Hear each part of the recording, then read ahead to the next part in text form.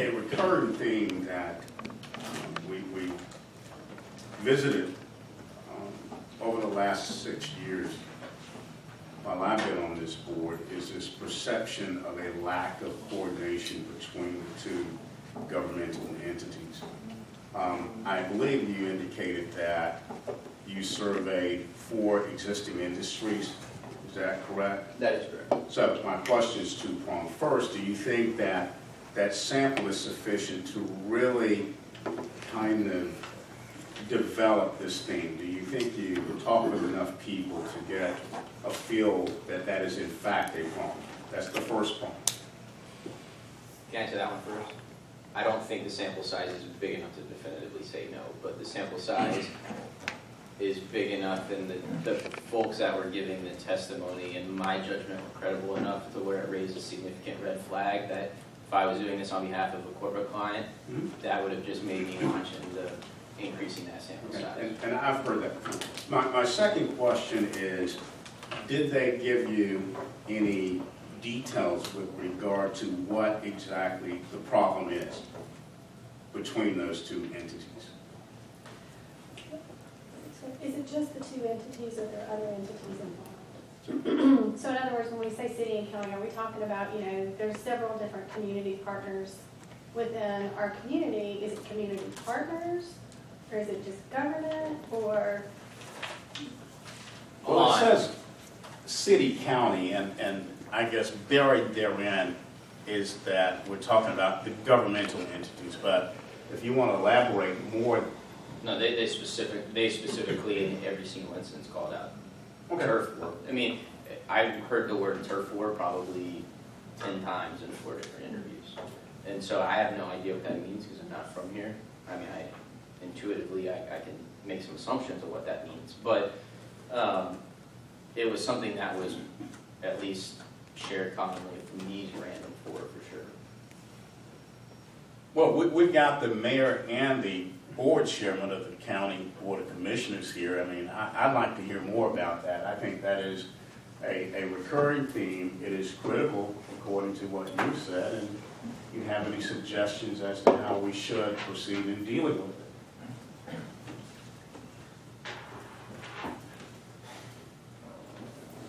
I think there's got to be some type of disconnect. Whenever, whenever we're going into community speaking with employers, it's very evident those communities that everybody's on the same page. And when I say everybody, your, your local government officials, whether it be city or county, your economic development organization, your, your utilities, your education institutions, it's very evident that people are all working together, pulling in one direction. Okay? I didn't get that feeling here. And so, and a lot of it was because of the testimony of the perceived lack of coordination. So, do I think our sample size was big enough for me to stand here and give you just definitive answers? I think this is what should be done, absolutely not. But I think having some type of level of cooperation from an economic development perspective, everybody pulling in the same direction is something that clearly has to happen. Now, who are the parties that are involved in that? That's outside of the scope of what I can tell you here. I'd like to speak on behalf of the city, and I think, um, I think Bill will probably go along with me on this. Uh, He and I both have heard this over the years, and we've done, we, we feel like we've gone above and beyond trying to work together. Right. We have, he and I have lunch together occasionally, we discuss, we're on the phone. Part of, some part of the problem might not always be the government, but it could be individuals who are, Could be. are trying to see to it that we don't get along in some cases. And, uh, and, you know, I feel like that we're, we've made a lot of progress, and some of these people could be talking about past problems and everything. But, uh, I know I, I, every time something comes up that involves the county, I think Bill and I can, uh, we usually come to some sort of agreement on it. Well, then here's one thing that I, I could suggest. So, while I, I agree with you, there's a very good chance that this could have been adequately addressed and the sample size was either small or just randomly skewed towards people who have negative experiences from the past. Then the follow-up question would, well, one thing I can assure you of is, had we talked to these individuals and had a real project, it would have been enough of concern to do follow-up due diligence on it. And so if I was doing follow-up due diligence, how would you adequately satisfy a prospect that? Well, don't get me wrong, I mean, we, we do have some disagreements, there's no question about that, and it usually involves money. But, uh, but, That's a surprise. but, you know, I mean, I think the next, I think the next year will really determine a lot of things with us locally, because, uh, we have House Bill four eighty-nine coming up. I hope I'm still around during that point, during that particular time, uh, but, uh, we, uh, we'll see how things go. Well, I- if, if I might, I mean, I, I agree with the mayor, Uh, you know, he and I both, um, work extremely hard to try to overcome, um, this perception of turf wars and the two local governments primarily being, uh, going head to head all the time. We know, as you probably find in any community, as you kind of touched on, we know that we're not going to agree with everything just simply because um, we, we do have a tendency to protect our own turf, as you want to call it that. But at the same time, we know at the end of the day, what we want to do is, is make some of the best decisions that we can and work together for the benefit of this community. So I, I, I personally take exception to that. Now, I do know that it takes years to overcome that perception. Yeah. It's, it's like, it's like that proverbial first perce- uh, Right. reception that you get from folks, that hangs with you for a long, long time. And so we've been trying to overcome that, and we're, go- we'll continue to work on that. And that's one thing that I hope that this community will continue to work on, are those perceptions as well, because we do have some things we have to overcome. But I would, I would add that if there's anything there that somebody such as yourself that has had these conversations, that sometimes folks will say something to you that they may not say to the mayor and I. Right. And uh, if there's anything there, any of that information that can be shared as far as how some of this can be helped and improve, we certainly would be uh, all ears and be willing to listen.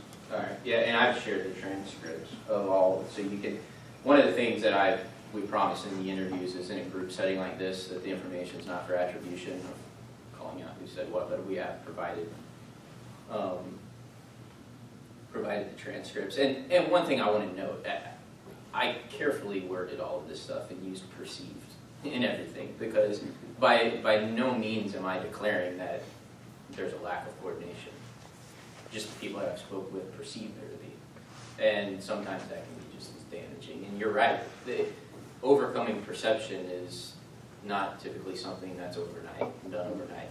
Um, and you very well may be coordinating better than any community for the last few years, but that perception still exists. And there's, you know, the good news with this is if it was gonna impact the corporate site selection decision that was considering Valdosta, that's usually not gonna be addressed until they're probably conducting on-site due diligence here. And so they're gonna hear those things when they're here locally, but the good news is if they're here locally, you're also gonna have the opportunity to meet with them. And that's gonna be the, the, the, opportune time to kind of dispel some of that, putting together a unified front. I mean, like I said, I probably do between 50 and 60 site visits a year, and those communities that show the best are ones that have a unified front. All their political leadership gets along. Um, They're there to support economic development. You have representatives from the, from the local education institutions, superintendents following you everywhere you go. Um, You can just see that level of cohesiveness. Now, we didn't do that for this particular exercise, and that cohesiveness could be here. If it's not, I would be really concerned because I think that cohesiveness is how you would kind of get over some of these perceptions. John, I, you know, I, I think it's a pretty simple proposition for the leadership to get together, and surely we're not indicting either the mayor or the county commission. I'm sure that those folks weren't pointing fingers at those gentlemen. I think the real question is bureaucratically, that's, that's where the problem lies. It's below Bill and John. I think there's some bureaucratic disconnect. Yeah. I mean, that very well.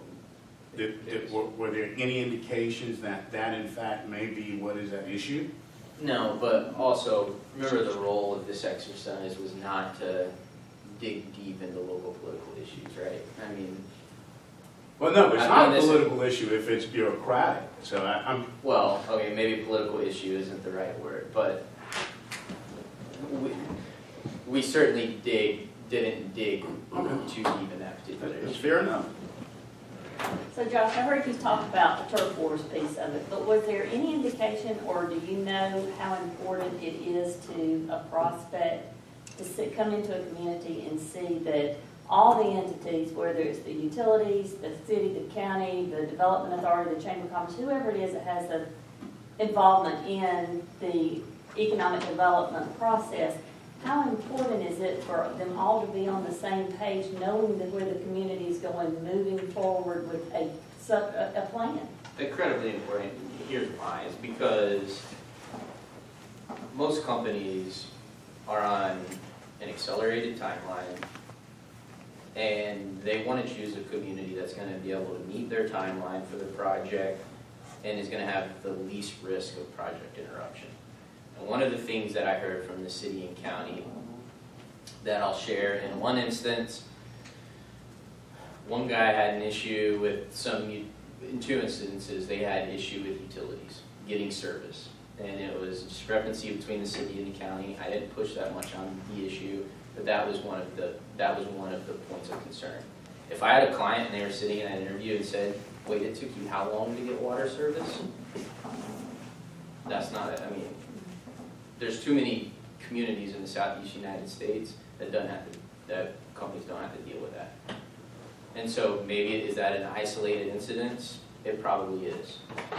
However, I can't stress to you how much stock, speaking to existing employers, how much, how much impact that has in the site selection decision. It can almost single-handedly sway a project against any data you can show anybody. Is it fair? Probably not, but it's real. Um, And, and I'm just trying to add some clarity and color to some of these things that I've heard. Um, I want to make a couple comments there, uh, talk about the availability of talent, specifically mentioned the uh, engineer. Well, and that's one of the things that we as a community probably need to do a better job because you as a consultant or site selection won't know. Uh, But there is talent in this community, and you've got companies or businesses uh, that uh, my process was if I needed a talent, I would want to hire somebody that was already working in it. Right. So I had no problem going to, uh, taking what it take, uh, uh, whatever it took to uh, acquire that talent. Right. And, and part of that is doing that drives up the labor cost, and you mentioned that several times, and then the cost of labor. But that's not the worst thing in the world for a community. No, it should be your Uh, objective. because, uh, you'll hire talented labor folk. They've got their own club. Engineers talk. I don't wanna be in Valdosta because they don't pay enough. Right. But if I'm willing to go to that company next door and pay his engineer more to come work for me, that drives, his- that drives his wage up, but it also raises the level of the median income in, in the, in the community. Right. It's not a thing of pride anymore to be the low-cost community. Right. Uh, there's too many downs, too many negative connotations associated with that, and, and too many companies are afraid to do that. Uh, I, uh, work as a consultant, and when people tell me they have trouble with issues, first thing I ask them, what are you paying? Right. And what is it cost, what are you willing to pay to produce your product? What is your product worth?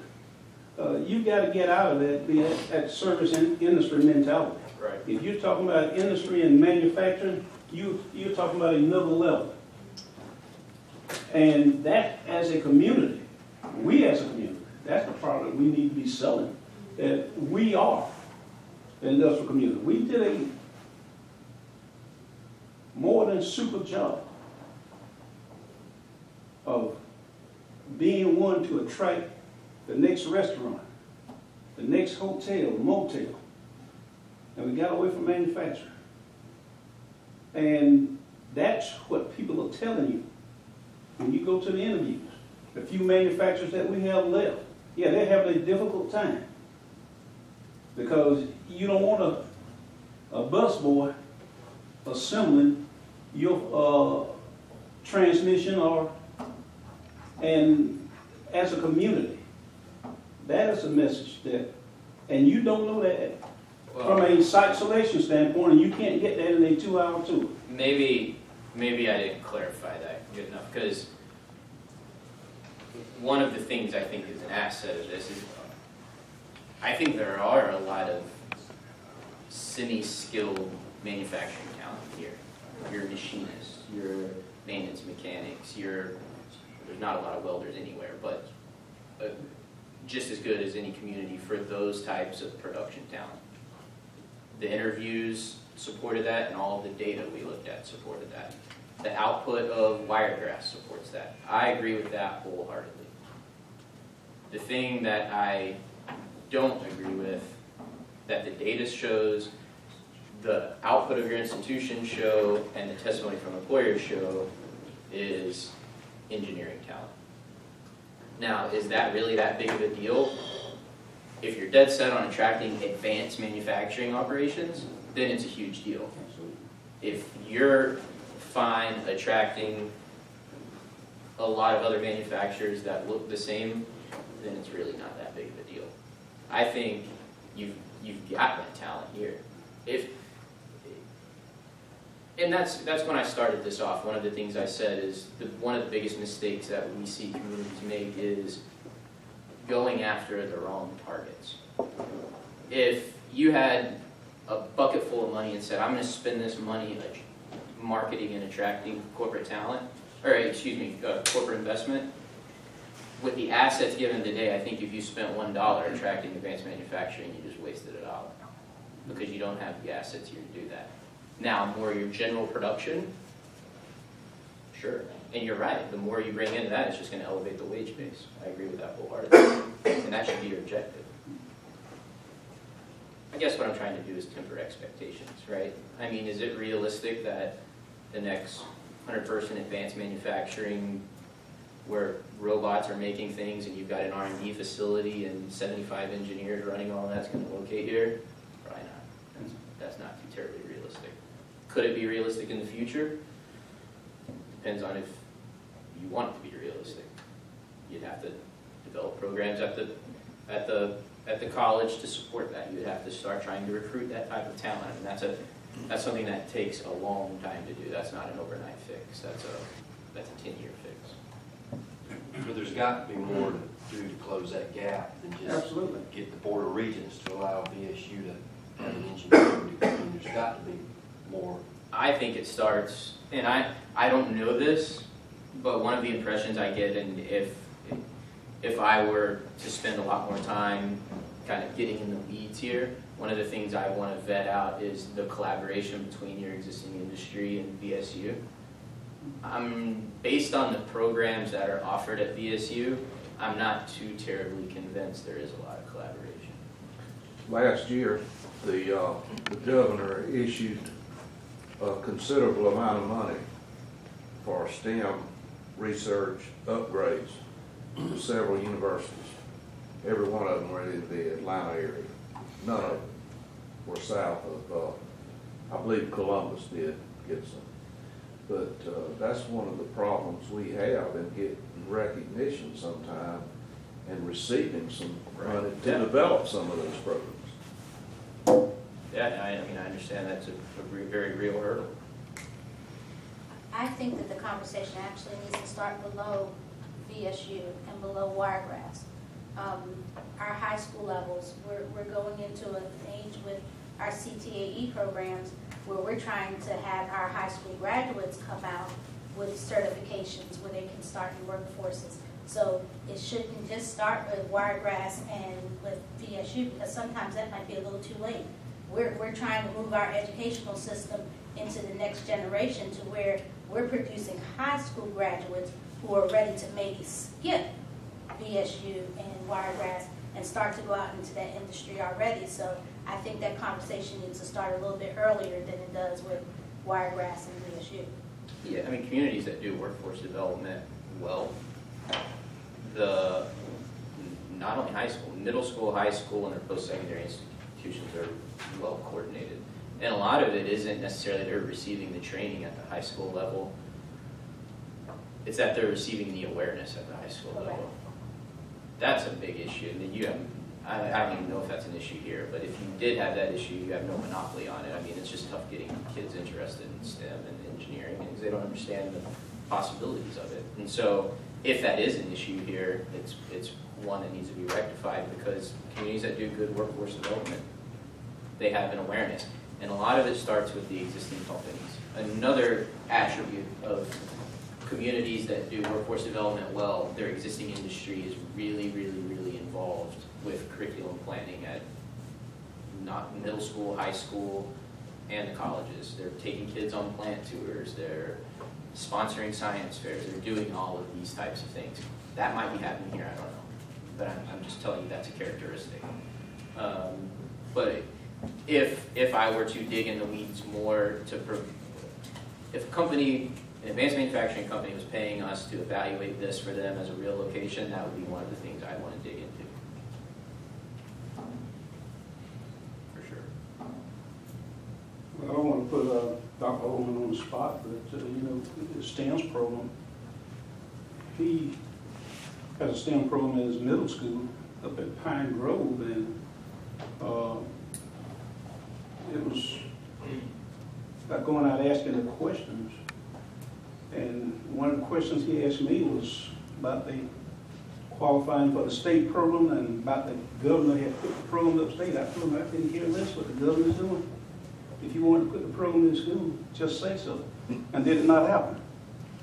We're in our third year at Pine Grove Middle School, becoming STEM certified, uh, sixth grade computer apps and programming.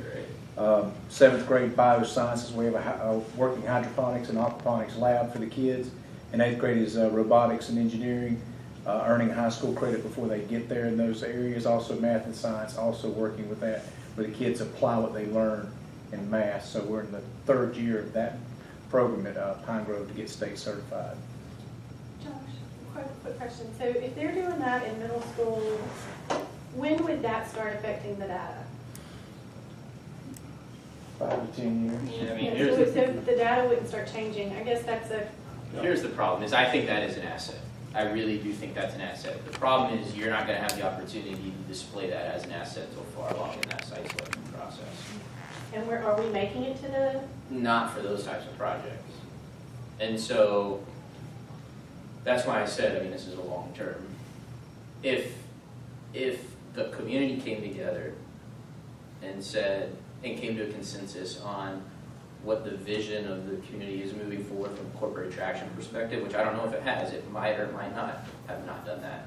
But if it did come together and they said, I want to go after advanced manufacturing, yes, the things that, that he's doing are incredibly important, but you're right, it's, it's a long term. I mean, it's a long term, long term battle. so I guess like what, from, what I take away from this, is like for those of advanced manufacturing, we're not making it through the top of the funnel. How many advanced manufacturing prospects has come through? Um, yeah.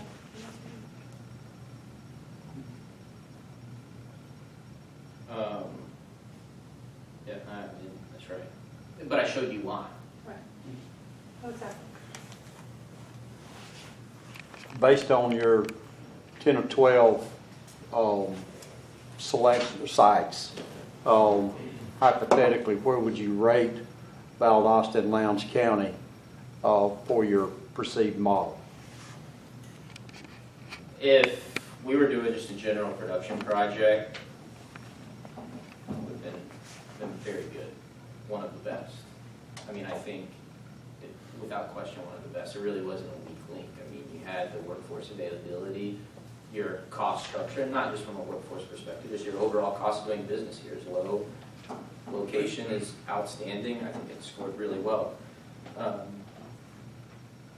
if you write projects, it- the higher degree of sophistication of talent you need, mainly from engineering type talent, PhD type talent, R and D type talent, that's when your competitiveness starts to fall Sure. significantly.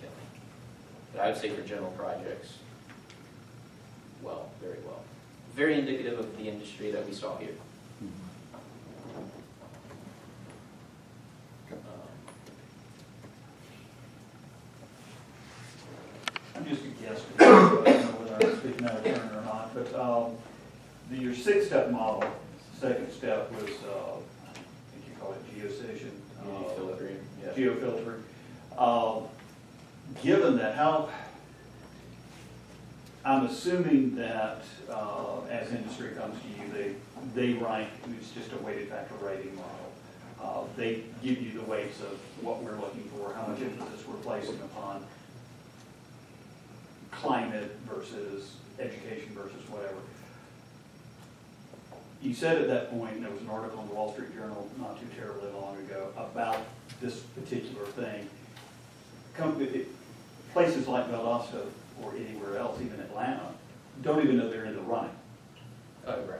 Uh, What does the community need to do to change those factors or change the scores on those factors to get into the running? Well, identify the factors you need to change. I mean, that's step one.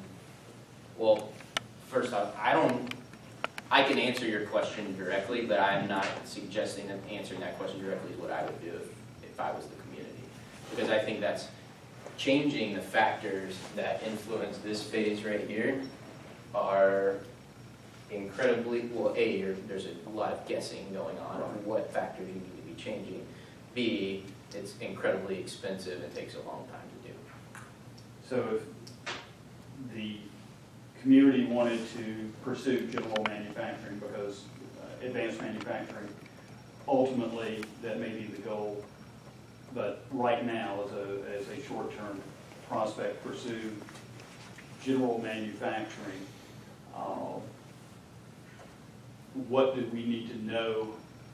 What, how do we know what is most important to those companies out there? I'll show you. Um, that was one of the else slides I added. Um,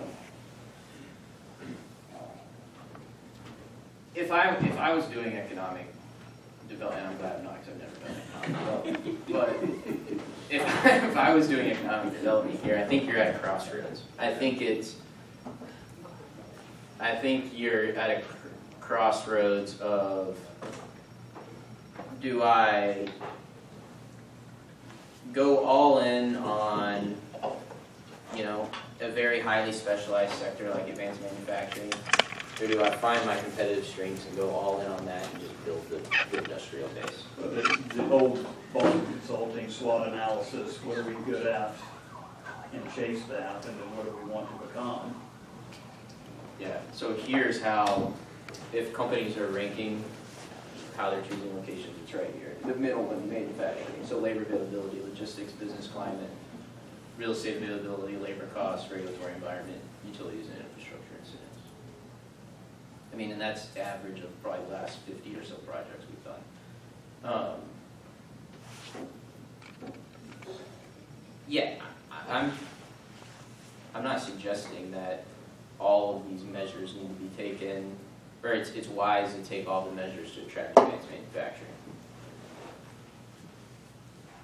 I'm actually trying to remain objective and impartial, but I'm saying it's, it's, if attracting high-end talent and growing the wage base substantially is an objective, I think it's probably more realistic to continue to attract general manufacturing. And with that, you're gonna, you're gonna have a, a lot easier time doing that than something with an R and D component to it.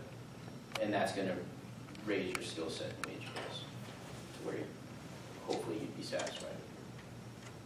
I think you're gonna have a lot easier time doing that. And I mean, those, those are very good paying jobs, those eighteen to twenty-five dollar an hour jobs. I mean, those are really good paying jobs, they're just not ninety thousand dollar a year engineering jobs. And that's what advanced manufacturing is.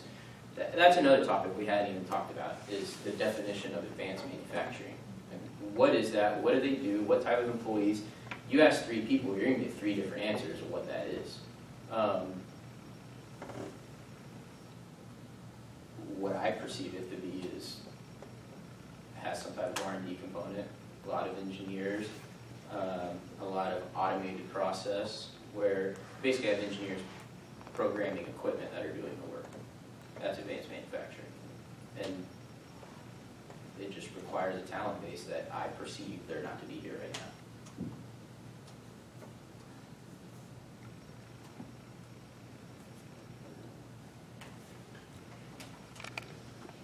So if you were us, and we wanted to try to change things for the short term, what are the three things you would do?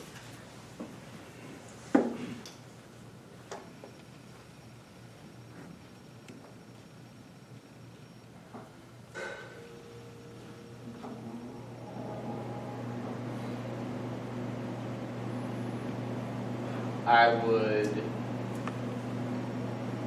do one, big- one thing that I think accomplishes a lot of things. One is make sure that your existing industry, your economic development platform, your community political leaders, and your education institutions are working in a collaborative fashion towards whatever economic development goal the community has. However, I'm not convinced that that overall economic development goal has been developed by the community. So like, it's hard for me to say, go do this, because I don't think everybody knows what they're pulling for together. And so, if it were me, and I hesitate to suggest this, because I think that it's, it can be a very risky endeavor, but one that might be worth looking into here is to have some type of strategic plan to make sure everybody's on the same page and there's an implementation process that's documented.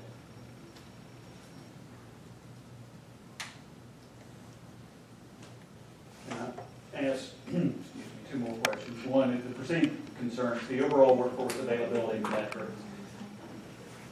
One, explain that, and two, the, is there root cause or causes for difficulty in recruiting talent to Valdosta? I know you've been here two hours and it's hard to tell, tell from the data. Well, the difficult recruiting talent, the only, the only way to assess that is testimony from employers. There's nothing data-wise. You can go look at quality of life metrics, which this seems to be a very high, have a very high quality of life. And employers will even tell you that. Once I get people here, they love it, they stay. It's a great place to raise family, et cetera. Um,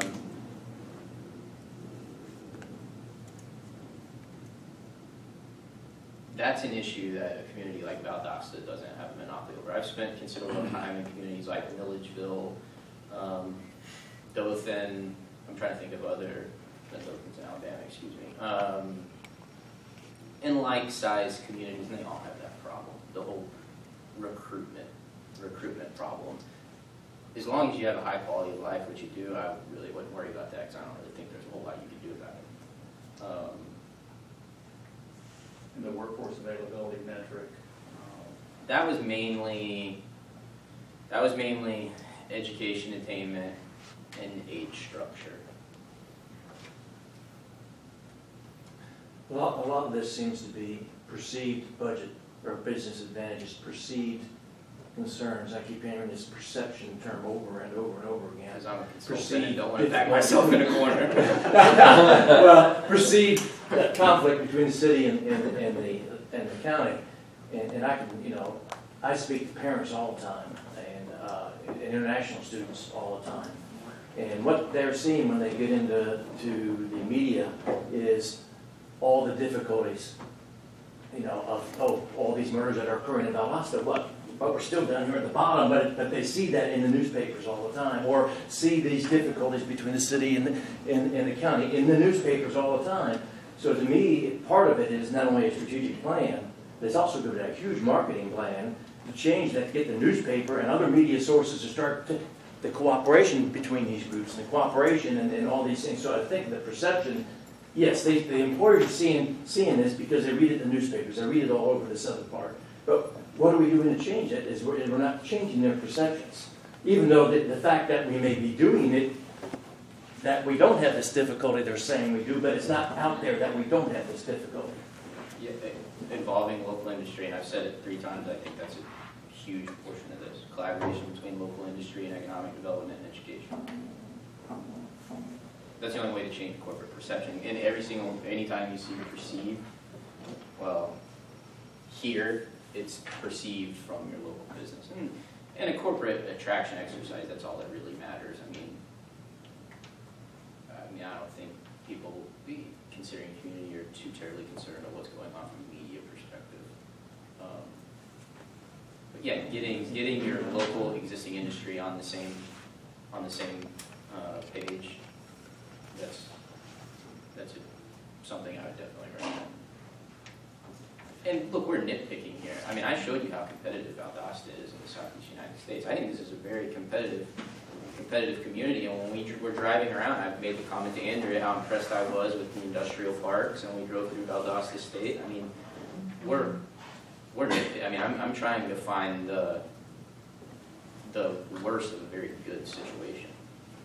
Um, Yeah, I think, I think our greatest takeaway here is that we, we probably made two of the three funnels that you identified, you know, from the bird's eye view, you know, right? So to get to the surface, then you get into some of these, these issues and, and, you know, I kind of sensed here that instead of us patting our back, uh, patting ourselves on the back about the good things that you brought to us today, is that we immediately jumped on the bad things. And that's because really there is a movement in our community to um, galvanize and move forward, Right. um, addressing a lot of these concerns that you brought up. You know, this, you did a competitive analysis, but it's basically turned into a strengths, weaknesses, opportunities, and threat analysis as well that will probably kick another ball. You know, like- like you even suggested a, um, um, what study you recommended, but some, some kind of, you know, Yeah, somebody who specializes in strategic planning. yeah, strategic planning that does all that, and, and, um, and, and I do think that we're not going to start now doing those things that we need to do, that- but it's already starting, and, um, the momentum is definitely going that way, and you have both parties that were kind of identified here, they could have not said anything, we should have just gone away, and, you know, but they both spoke up and said, Right. hey, we- we're involved here, we want to address these, and and so, that's just an example, um, I think, so, um, the competitive analysis and overall takeaway for me today is that we're in a good spot from, from the surface, so we're not eliminating ourselves by, by data until people get here, and then certain things can, can trigger, but that's a, looking somebody in the eyeball kind of thing, at that point, we've got to address that, so, um, believe me, we will. If I can put this very informally, my big takeaway is don't go blow a bunch of money trying to attract advanced manufacturing. Spend some time with your local industry, making sure everybody's on the same page and telling the same story. And that's really it. I mean, those are really the two, the two big ticket items.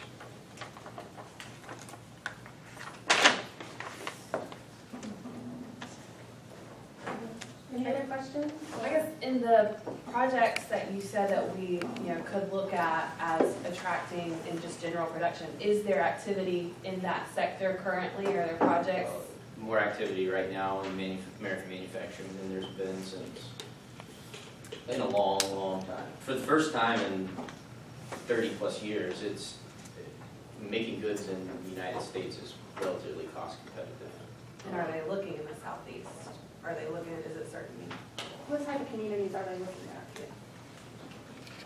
I spend more time in my southeast, in the southeast United States than anywhere else, by far. Um, the southeast United States dominates the United States from a manufacturing perspective, just because its low-cost structures, no unions, access to ports, all that type of stuff. Um, The project, the projects that I'm suggesting you have competitive advantage are the ones that have the most activity right now. Um, By far and away the most activity right now. The thing that is mind-boggling to me a little bit is that more leads don't come to the state of Georgia.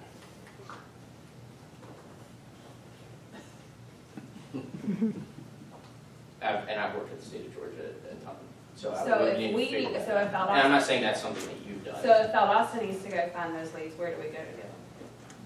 well, that's costly. A community of this size, seventy percent of your leads should probably come through the state.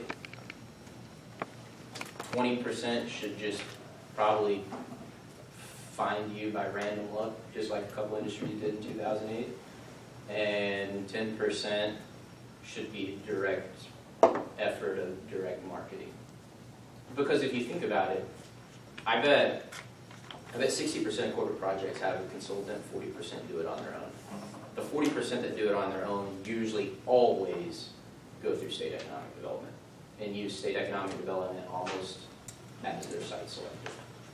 Think that's the structure of Georgia's State Department? Because it's because each state has a different organization structure. Yeah, but, but filtering projects through state economic development, that's pretty consistent across all, all states in the southeast United States. Of the sixty percent that are consultant-led, I bet, I bet seventy percent of consultants start at the state level. So, I think thirty percent of the sixty percent are people like us who don't start at the state level. That's why I think, that's, that's why I think seventy percent of the needs for a community this size should come to the state or Georgia Power.